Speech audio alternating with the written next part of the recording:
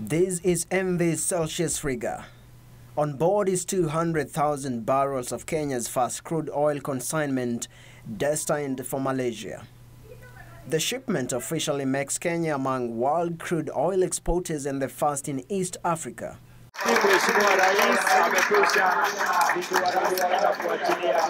Meli hii kuondoka. China's state-owned firm Chem China won international bid to buy local crude at 1.2 billion shillings.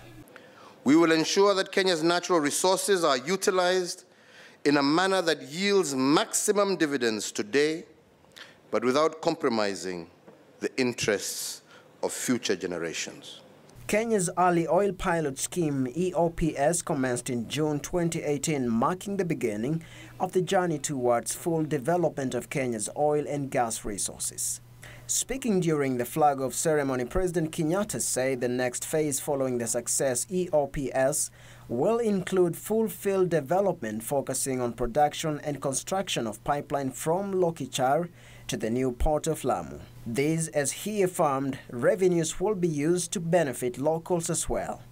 This early oil pilot scheme has also brought with it prosperity for the people of Turkana, but also the wider republic, with very many local communities directing, uh, directly benefiting from employment opportunities in production.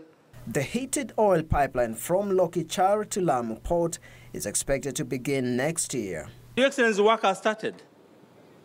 We need to actually discuss with the counties, the seven counties, to deliver on land because we need a pipeline.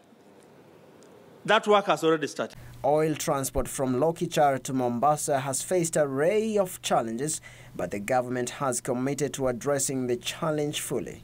Tullow Kenya discovered oil deposits in 2012 and after a seven-year waiting period, the much-anticipated desire has come to fruition.